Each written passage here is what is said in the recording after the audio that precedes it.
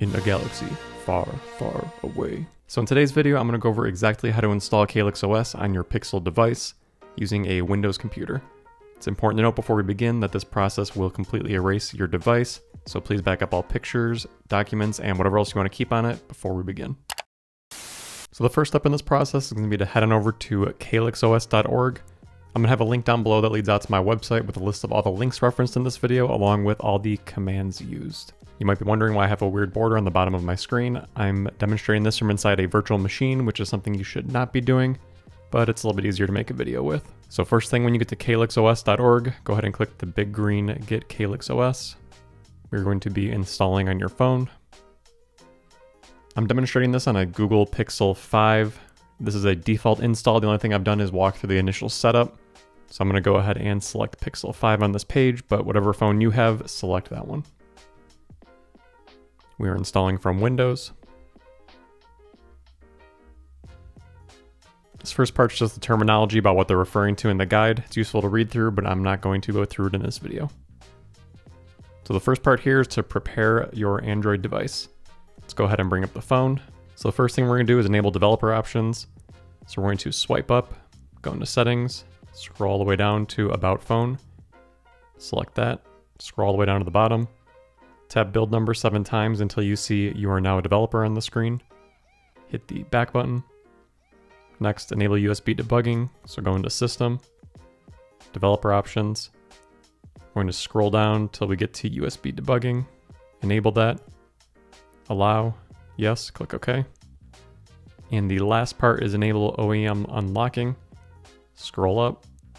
We can see OEM unlocking. Enable that. Click enable.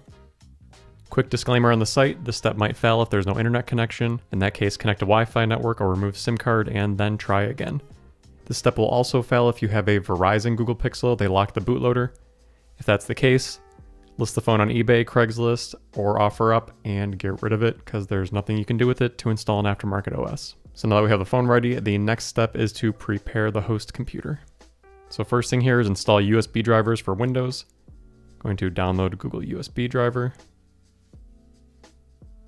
On this page, click the big blue download link.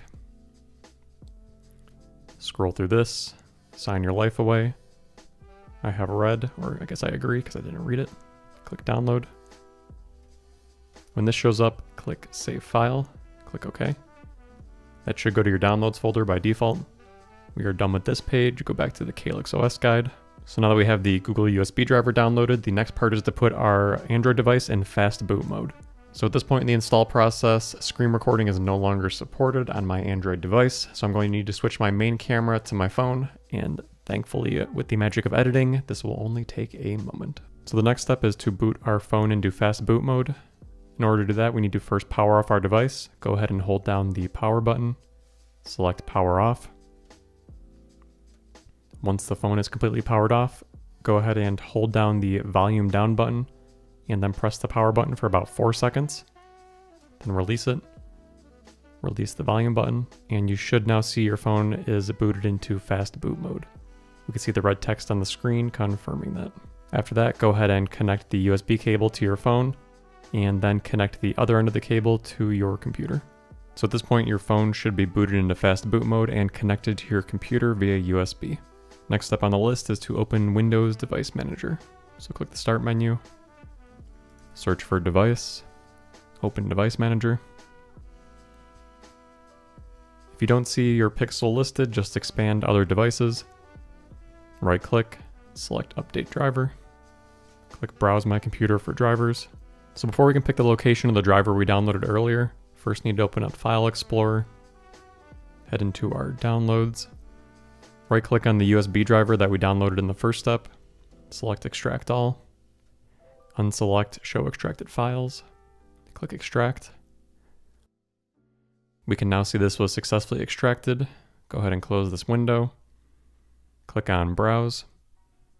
Select downloads or wherever you downloaded the driver to. Select that freshly extracted folder and click OK. Go ahead and click next. Always trust Google. Gonna uncheck that. Click install. And you should now see that Windows has successfully updated your drivers, Android bootloader interface. Everything is good to go to the next step. Click close on there. We are done with device manager, so click X. And now the next part on this process is to download device flasher. So download device flasher. It's a small file, should be quick. Click save file. This next part to verify the digest, this is optional. This just verifies the file is not corrupted and it does match the hash listed on calyxos.org. You can skip this part in the video if you want to, but I'm gonna go ahead and demonstrate it. So click on the start menu, type CMD, open up command prompt. We need to change directory to where our file was downloaded to. So cd and then start typing download. Hit tab to autocomplete. Enter. You type dir to list the files we can see here is deviceflasher.exe. So now we're going to type cert util dash hash file. Again, start typing the file name, hit tab to autocomplete, and then the algorithm we want to use, which is SHA-256. Once you have that typed out, hit enter. And we can see the hash 0cd 6c does match the one listed on calyxos.org. So now that we have confirmed the hash of device flasher, the next step is to download the factory image. So go ahead and click download Calyx OS image. Make sure save files selected. This file is 1.5 gigabytes, so your download time may vary depending on your connection speed.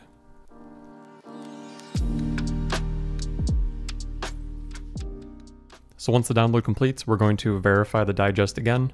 Like I mentioned earlier, this step is optional, but I'm going to demonstrate it in this video. So if you still have the command prompt open, just go ahead and hit the up arrow. We're going to delete the device flasher part. Start typing Redfin Factory or whatever the file name is you downloaded. Hit tab to autocomplete. Looks like it erases the SHA-256, so let's retype that again. Once you have that typed out, hit enter.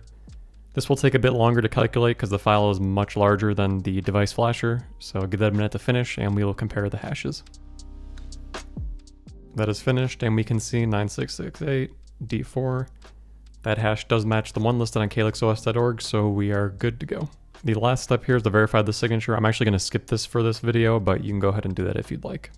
So now that we have the device flasher downloaded along with the Calyx OS image, the next step is to actually install Calyx OS on our phone. So step one is to connect your phone via USB to the computer. It still should be connected because we never removed it. And the second step is to actually run device flasher. So to do that, we're gonna open up File Explorer, go to our downloads folder where it was downloaded to, double click on device flasher. So we can see here it's extracting Redfin Factory, that's the Calyx OS image we downloaded, downloading some additional components that it needs, extracting those. So this next step in yellow, this is just a reminder to do what we've already done, confirm you have all that done. If you've been following since the beginning, you already have that completed. So go ahead and press enter on your keyboard. So we can confirm that device flasher detected our phone successfully. We see the serial number listed here of devices to be flashed. Go ahead and press enter. So at this point we need to manually unlock the bootloader. And to do that, we're going to change the selection from do not unlock the bootloader to unlock the bootloader by pressing the volume button. Once that is selected, go ahead and press the power button to confirm. Give that a moment to complete. Once completed, you can now see in red unlocked on the screen, which confirms the bootloader has been unlocked successfully. Once you complete this process, the install will continue automatically.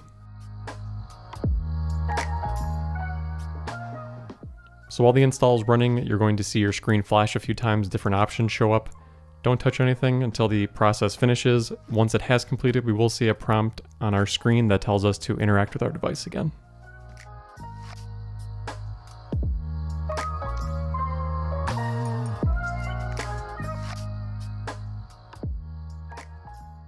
So now that the install has completed, we now need to manually relock the bootloader. To do that, we're going to change the option to lock the bootloader by pressing the volume button once we confirm that, go ahead and press the power button to select it. Give that a moment to complete. And once that has completed, you will see locked on the screen in green, confirming that the bootloader has been locked successfully. The last step in the process will be to confirm that OEM unlocking and USB debugging are disabled after we go through the initial setup process.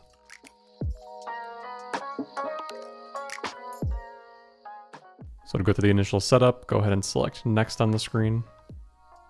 Select your language. Change the time zone if you need to. I'm going to skip adding a Wi-Fi network. I do not have a SIM card in this phone. Leave location services enabled if you want. I'm going to disable them. I'm going to skip adding a fingerprint and PIN code, but you should add this on your device for protection. And here we have MicroG services. This is basically an open source implementation of Google services that allows you to, to run apps that require these services. One of the perks of Calyx OS is that this comes bundled with it. If you don't want to leave this enabled, there are other OSs out there that are better suited for privacy, so you should go ahead and leave this enabled. Go ahead and click next. These are just some additional apps. You can keep them if you want to. I'm going to unselect them so this goes quicker. Click next. Not restoring from a backup, click skip.